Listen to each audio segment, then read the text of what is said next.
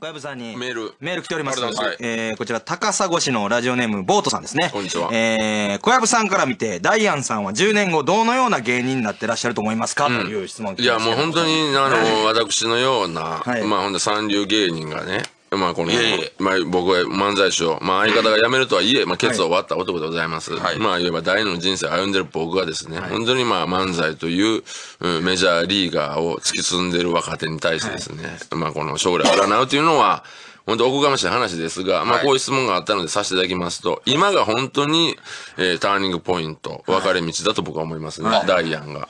今はっきり言ってこの二人はまあある程度のレギュラーの数、えー並びにまあロケの数もあって安泰、安定というふうに思ってるかもわかりませんが、この次の階段一歩踏み外せば奈落の底に突き落とされるんじゃないかなと僕は思います、本当に。この次の9月、はい。まあもう9月そんな話できてないやったらまあわかりませんが、はい。次の、うん、3月、そして来年の9月はい。でホームラン打てへん限り、はい。もう一気にかまいたち、並びにスマイル、スマイル。うん、そのあたりにどんどんレギュラーを取られ、なるほど。はい、ええ本当に、えー NGK のロビーで、えー月に1回だけ座り、えー高校野球を見てて、お願いしますってこう、漫才をやりに行く若手に、これ、育英今満塁やぞ。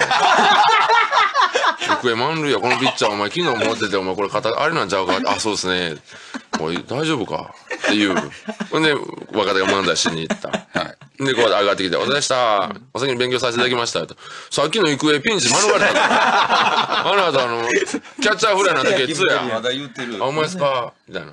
その、高校野球の、その、なんていうの、実況。はいほんまですねを雨傘傘取りながらな、なりながら。新興さん、お茶ちょうだい。なるほど。今が、そう。いやほんまでもそうです。頑張り時っていうことですね。だからあと頑張りましょ10年後というと、はい。何歳ですか？えー、47、い。47とかですよね。48。まあ僕もこれは本当に、あの、すべての芸人に言えることだと思うんですけど、まあ僕と今ダイアンって言ったら仕事を取り合うことはあんまないじゃないですか。はい。はい。ちょっとなんかこう、住みどころが違うというか。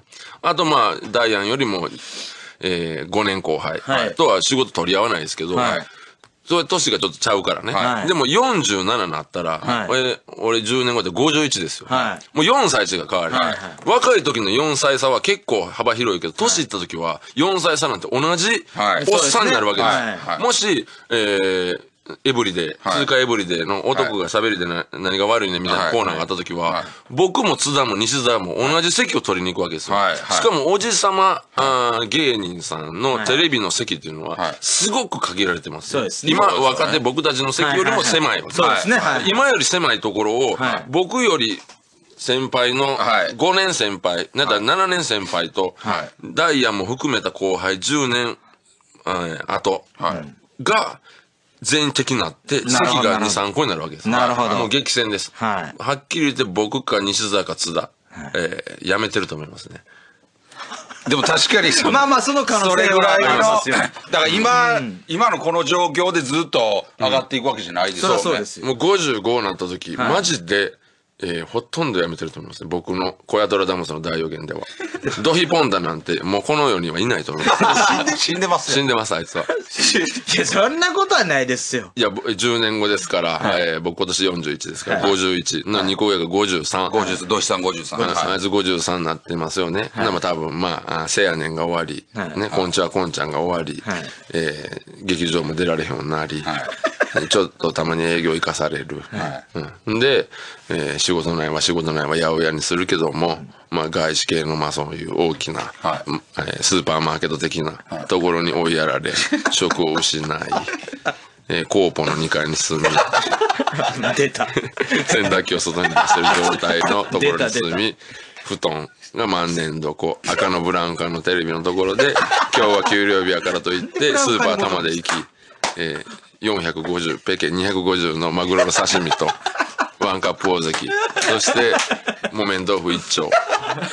これいつものご飯なんですけども、今日は給料日やから言って、さつまいもの天ぷらを 買おうかということになって、天かすを、まあ、すくうようにして、えーまあ、入れてね。はいうん。で、帰るときに多分、心臓麻痺で、あいつは死ぬことでしょう。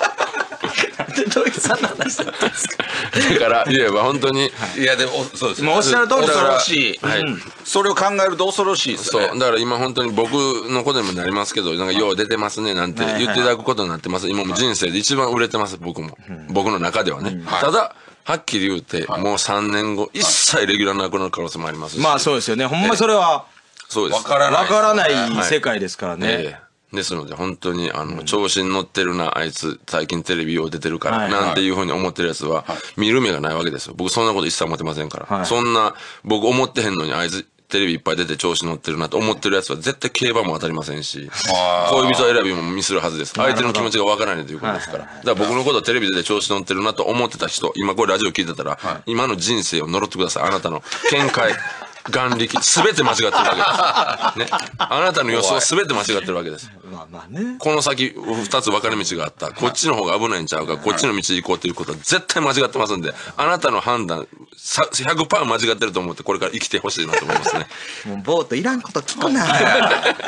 俺も思ったそう読んだ時そうやね。俺もね読みながらもうこっち。ああ。ほんでもう俺高砂越しって聞いた時も嫌な予感してもう絶対ボートやって思って。こんな言うね。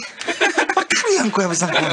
最後土木さん死んでたや。ん俺らの質問して。な誰ねか殺さす絶対天ぷらの芋の天ぷらかわして絶対殺すんですさつまいものやつ。23回殺されてんの俺も。